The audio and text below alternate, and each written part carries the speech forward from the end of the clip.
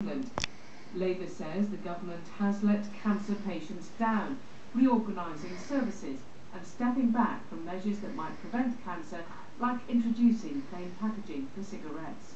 Branwen Jeffreys, BBC News. The Conservative Vice Chairman for Business Relations, Alan Lewis, has been arrested over an historic allegation of rape. Mr Lewis, who is 75, is the multi-millionaire owner of the Crombie clothing chain. He was detained after a woman claimed she was attacked in the late 1960s.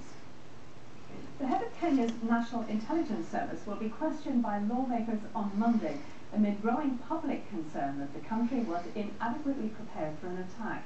It comes amid reports that the Kenyan government was warned by Israel of a high risk of action by Islamic militants before the siege at the Nairobi Mall last week.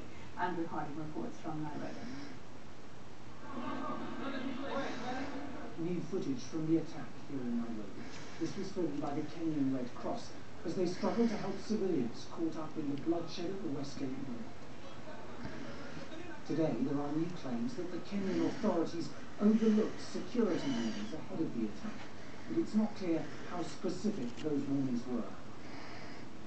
Roughly a third of the mall now lies in ruins.